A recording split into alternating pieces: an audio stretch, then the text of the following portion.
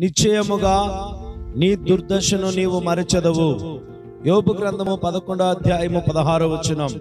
ప్రభునందు దేవుని ప్రియులారా ఎంత చక్కని మాట దేవుని వాక్యమందు దేవుడు మనకి సెలవిచ్చారు.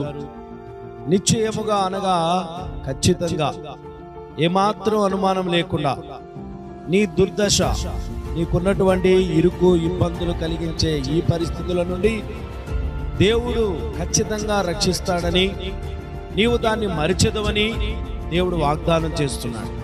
దేవుని మాట వింటున్న సోదరి సోదరుడా ఈ దుర్దశ నాకు ఇలాగే ఉంటుంది అనుకోవద్దు నీవు ఆ యొక్క స్థితిని మరచి మంచి స్థితిని నీ యొక్క బ్రతుకు మధ్యాహ్న కాల తేజస్సు కంటే అధికముగా ప్రకాశించునన్న దేవుని మాట నెరవేరును కాక